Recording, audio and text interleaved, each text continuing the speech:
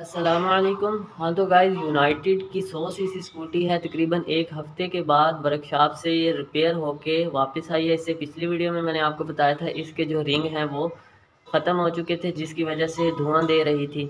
تو دوستو، اس کا تین سال اس کو میرے پاس ہو چکے ہیں، تین، ساڑھے تین سال۔ اس میں کتنی دفعہ اسے میں نے ریپیئر کروایا، مختلف چیزوں کو بیٹری فلٹر اس کے سپیئر پارٹ وغیرہ آسانی سے ملتے ہیں یا نہیں ملتے، ان کی پرائز وغیرہ اور اس کے علاوہ جو مزدوری ہے، وہ کتنی ہے؟ تو یہ سب دوستوں، میں تین سال کا جو ایکسپیرینس ہے، وہ آپ کے ساتھ شیئر کروں گا۔ تو باقی جو ویڈیو دوستوں، وہ میں روم میں جا کے بناؤں گا۔ یہاں ساتھ روڈ ہے، جس کی وجہ سے کافی شور آ رہا ہے۔ تو ہو سکتا ہے میری آواز آپ تک صحیح نہ پہنچ سکے۔ تو اس کے بارے میں تمام ڈیٹیل جو ہے، وہ میں آپ کو بتاتا ہوں۔ ہاں تو فرینڈ تقریباً تین سال میرے پاس اسے ہو چکے ہیں۔ تو دوستو، ایک چھوٹی سی بات میں آپ کو بتا دوں، گاڑی اور موٹر سائیکل وہ اچھا شمار ہوتا ہے جو آپ کے پہلے تین یا پانچ سال آپ کا کوئی خرچہ نہ کروائے۔ جیسا کہ ہونڈا کی سیونٹی آپ لے لیں، تو وہ لے کر بندہ پہلے دو، تین، چار، پانچ سال تقریباً ٹیوننگ یا فلٹر کے علاوہ موبلائل چینج کے علاوہ اس کا مزید انجن کا یعنی کہ کوئی خرچہ نہیں ہوتا۔ تو جب میں نے دوستو اسکوٹی کی نئی لی تھی، اس ٹائم ویڈیو بنائی تھی، تو بہت سے دوستوں کی کال میسیج وغیرہ آئے کہ بھائی، ہم اسے پرچیز کرنا چاہتے ہیں، تو آپ اپنا ایکسپیرینس شیئر کریں۔ تو کیا ہم اسے پرچیز کریں یا نہ کریں؟ تو انہیں میں نے ایک بات کہی تھی کہ بھائی، ضروری نہیں ہے کہ جیسا میری بائک کے ساتھ ہوا یعنی کہ دو بار اس کے رنگ پسٹن ہوئے انجن کھلا، اور تیسری بار پھر اس کے رنگ صرف چینج ہوئے۔ تو آپ کی بائک کے ساتھ بھی ایسا ہی ہو۔ لیکن جو چیز کامن ہے وہ یہ ہے کہ اس کا جو مکینک ہے اور اس کے جو سپیئر پارٹ ہیں وہ ہر شہر میں آسانی سے دستیاب نہیں ہوتے۔ تو فرینڈ پہلے مکینک کے بارے میں کچھ بات کر لیتے ہیں، اس کے بعد سپیئر پارٹ جو اس کے ہیں وہ بھی میں آپ کو ایک دو اگزامپل کے ذریعے بتاؤں گا جو میں نے خود چینج کروائے تھے اور وہ کتنے کے آئے تھے۔ تو مکینک دوستو، ہر بندہ اس کو صحیح نہیں کر سکتا، جیسا کہ میرے ساتھ ہوا۔ فرسٹ ٹائم جب اسے میں یہ دھواں دینے لگی، میں ایک مکینک کے پاس لے گیا۔ میرے خیال میں وہ ایک اچھا مکینک تھا۔ تو اس نے کہا کہ اس کے رنگ پسٹن ہوں گے۔ تقریباً پندرہ دن دوستو، یہ ورک شاپ پر رہی۔ اس کے رنگ پسٹن ہوئے۔ پنتالیس سو دوستو، میرا خرچہ ہوا۔ تو واپس جب میں لے کر آیا، تو تقریباً دو ماہ کے بعد ہی اس کا جو موبلائل تھا، وہ پھر سے ختم ہو گیا اور یہ پھر سے دھواں دینے لگ گئی۔ تو اس کے بعد دوستو، پھر سے میں نے کوئی اچھا مکینک تلاش کرنا شروع کیا۔ تو پھر مجھے یونائٹڈ کے کلیم سینٹر سروس سینٹر کے بارے میں پتہ چلا۔ اس کی میں دوستو دکان کی پکچر آپ کے ساتھ شیئر کر دیتا ہوں۔ یہ اگر آپ نو نمبر چنگی سے لاری اڈے والی سائٹ پہ سرگودا میں دوستو میں بات کر رہا ہوں، سرگودا کی نو نمبر چنگی سے لاری اڈے والی سائٹ پر جاتے ہیں تو ہونڈا کا جو شو روم ہے، اس کے ساتھ عمران آٹوز ہے۔ وہاں، وہ اس کی یونائٹڈ والوں کا کلیم اور سروس سینٹر ہے۔ وہاں پر جب میں لے کر گیا، انہوں نے مجھے بتایا کہ اس میں جس بھائی نے پہلے اس کی ریپیرنگ کی ہے، اس نے آلٹریشن کر دی ہے، تو اس کے دوبارہ سے رنگ پسٹن ہوں گے۔ تو وہاں بھی تقریباً دوستو یہ دس بارہ دن، حالانکہ وہ سروس سینٹر ہے کلیم سینٹر ہے، وہاں پر اس کے جو اسپیئر پارٹ ہیں موجود ہونے چاہیے تھے، لیکن وہاں پر بھی نہیں تھے۔ انہوں نے بھی آرڈر دے کر لاہور سے منگوائے تھے۔ تو وہاں پہ بھی بارہ پندرہ دن یہ دوستو ورکشاپ پر رہی، اس کا کام ہوا۔ اس کے بعد دوستو، وہاں بھی میرے تقریباً چار ہزار سے پانچ ہزار لگا۔ اور یہ صحیح ہو کے گھر آئی۔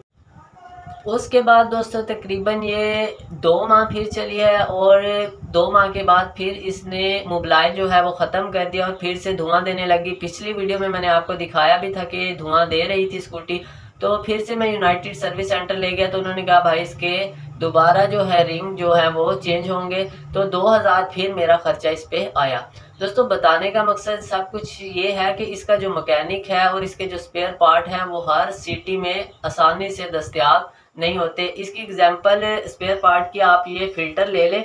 فرسٹ ٹائم جب میں نے اس کی ٹویننگ وغیرہ کروانی تھی تو ظاہری بات ہے فلٹر بھی تبدیل کروانا تھا۔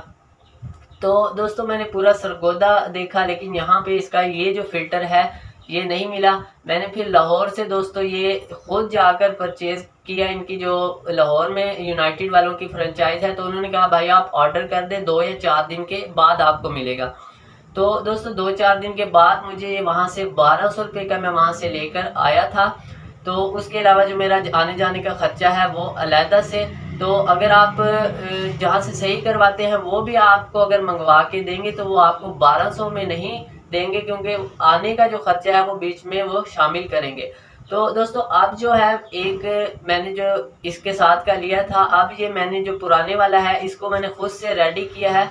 سیونٹی کا جو فلٹر ہوتا ہے، وہ اسی سے لے کے ایک سو پچاس تک اچھے والا جو ہے وہ مل جاتا ہے۔ وہ لے کر اس کا جو گتا ہے، وہ میں نے کاٹ کے یہاں پر سمجھ سے لگا دیا ہے۔ اب دوستو، میرے پاس اس کی جو کیسنگ آپ کہہ لیں، یہ دو ہیں۔ میں ایک ریڈی کر لیتا ہوں۔ سیونٹی کا جو فلٹر ہے وہ لا کے اور دوسرا جو ہے وہ اس میں لگا دیتا ہوں۔ جب وہ گندا ہو جاتا ہے تو یہ والا لگا دوں گا اور اسے جو ہے وہ پھر سے ریڈی کر لوں گا۔ اس لیے میں فلٹر اب پرچیز نہیں کرتا۔ اس کے علاوہ دوستو، اس کی جو بیٹری میں میری خراب ہوئی تھی، اس کی بھی میں نے ویڈیو بنائی تھی۔ تو اس، ان کی جو میں نے کال کی یونائٹڈ کے سروس سینٹر تو انہوں نے بتایا کہ بھائی تقریباً بائیس سو تیئیس سو روپے کی آپ کو بیٹری اس کی جو ہے وہ ملے گی۔ تو بیٹری پھر دوستو میں نے یہیں سے سرگودا سے ایک بیٹری والے تھے، وہاں سے سولہ سو کی پرچیز کر کے اسکوٹی میں ڈالی تھی، تو وہ اللہ کا شکر ہے، صحیح چل رہی ہے۔ یہاں پر دوستو ایک سپیئر پارٹ کی اس کی جو باڈی ہے فرنٹ والی، اس کی ایک ایگزامپل اور میں آپ کو دے دیتا ہوں۔ تو دوستو یہ جو اس کی فرنٹ کیسنگ ہے، یا آپ اسے ٹاپا کہہ لیں ود آؤٹ لائٹ جو اس کی پرائز ہے، وہ سات ہزار دو سو روپے کا ایک بھائی نے منگوایا تھا۔ یونائٹڈ کی اس کی اسکوٹی تھی جو کہ ایکسیڈنٹ کی وجہ سے فرنٹ اس کا ٹاپا جو ٹوٹ گیا تھا، جو اس نے سات ہزار دو سو روپے کا منگوایا تھا۔ ہاں تو گائز اب اس کی بات کر لیتے ہیں پیٹرول ایوریج کی تو لانگ ڈرائیو پہ میں نے ٹیسٹ نہیں کی، لیکن سٹی کے اندر سیونٹی جو بائک ہے، اس سے اس کی پیٹرول ایوریج زیادہ ہے۔ ون ٹو فائیو کے برابر یا اس سے کچھ کم ہوگی۔ تقریباً پینتیس کلومیٹر فی لیٹر جو اس کی ہے، وہ ایوریج یہ دے رہی ہے۔ تو یہاں پہ دوستو یہ سب چیزیں بتانے کا مقصد یہی تھا کہ اگر آپ اسے پرچیز کرنا چاہتے ہیں تو آپ کے پاس ایک تو ایکسٹرا انکم ہونا ضروری ہے۔ جیسا کہ آپ دیکھ سکتے ہیں، عام بائک کے مقابلے میں اس کا جو مکینک کی مزدوری ہے، وہ بہت زیادہ ہے۔ تو مزدوری جو جسٹ میں نے جو رنگ کروائے تھے، اس کی خالی جو مزدوری تھی، وہ تقریباً بارہ سو روپے تھی۔ اس سے پہلے تقریباً دو دو ہزار اور پچیس پچیس سو روپیہ مزدوری مزدوری تھی۔ اس کے علاوہ سپیئر پارٹ بھی اس کے بہت ہی زیادہ کاسٹلی ہیں، مہنگے ہیں۔